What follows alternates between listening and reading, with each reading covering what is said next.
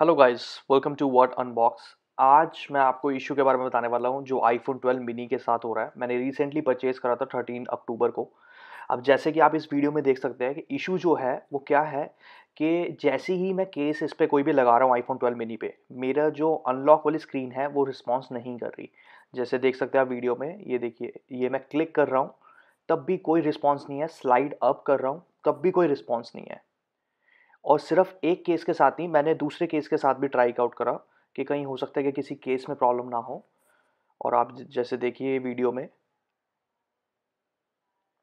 ये देखिए, कोई भी रिस्पॉन्स नहीं है, कोई भी, अगर आप बटन भी क्लिक कर रहे हैं, तब भी कोई रिस्पॉन्स नहीं आ रहा। अब यही देखिए कि जैसे मैं केस उतारूँगा तो सारे टच जो है इसके वो काम कर रहे हैं, ये देखिए। जैसे मैंने केस उतारा प्रॉपरली सारा फ़ोन काम कर रहा है। मुझे नहीं पता ये क्यों दिक्कत आ रही है, लेकिन इसका एक टेम्परेरी सोल्यूशन भी निकाला है। मैंने भी कस्टमर केयर से बात करी थी तो उन्होंने मुझे बताया कि रीसेट कर लीजिए सेटिंग देखिए सेटिंग्स में आप जाएँगे आपको जर्नल में जाना है, उसके बाद आप बिल्कुल नीचे जाके रीसेट पे जाएँगे और रीसेट ऑल सेटिंग करेंगे अब ये रीसेट ऑल सेटिंग करने के बाद मेरा फ़ोन कैसे रिस्पॉन्स कर रहा है, मैं आपको दिखाता हूँ। जब ये, देखिए विदाउट केस तो अभी भी काम कर रहा है अच्छे से। अब मैं इसको केस के साथ आपको दिखाता हूँ कि इसमें हमारा क्या सोल्यूशन हुआ है, लेकिन अभी भी कोई ना कोई दिक्कत है रीसेट करने के बाद भी। ये देख रहे कितना स्मूथ है विदाउट केस अब मैं केस लगा के आपको दिखाता हूँ। जब मैंने ये रीसेट करा है तो इसमें केस लगाने के बाद भी स्लाइड अप हो रहा है। वो इशू हो गया है। लेकिन अगर मैं फ्लैश ओपन करता हूँ फ्लैश ऑन करता हूँ, या कैमरा ओपन करता हूँ तो अभी भी नहीं हो रहा। उसका सोल्यूशन भी मैं आपको बताता हूँ। ये देखिए स्लाइड अप डाउन हो रहा है रीसेट करने के बाद, लेकिन फ्लैश और कैमरा अभी भी नहीं चल रहे। अब इसमें मैंने एक ऑनलाइन चेक करा था तो लोग क्या बता रहे कि कैमरे पे अगर आप एक उंगली रखेंगे तो आपका टच काम करने लग जाएगा।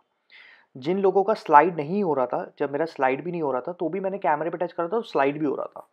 तो जो भी ये टच के इशू है टेम्परेरी सोल्यूशन ये है कि आप इस पर कैमरे पे रखेंगे। ये देखिए कैमरे से मैंने हटाया और टच बंद।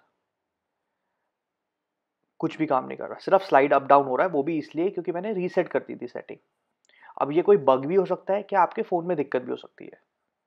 और अभी भी कहीं ना कहीं वो जो स्मूथनेस होती है, ये देखिए, मैंने अभी टच नहीं करा हुआ, लेकिन स्लाइड अभी भी ढंग से नहीं हो रहा। तो कहीं ना कहीं कोई इशू है, या तो ये बग है, या तो ये कुछ प्रोडक्ट में दिक्कत है।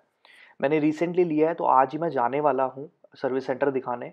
लेकिन मैं आपको दिखाना चाहता था कि ये फ़ोन में इशू आ रहा है। तो जब भी आप फ़ोन ले, तभी के तभी ये चीज़ चेक कर ले कि तभी के तभी आपका रिप्लेस हो जाए फ़ोन। देखिए, जब मैं टच करा हुआ है, मैंने कैमरे को पीछे तो ये प्रॉपरली काम कर रहा है।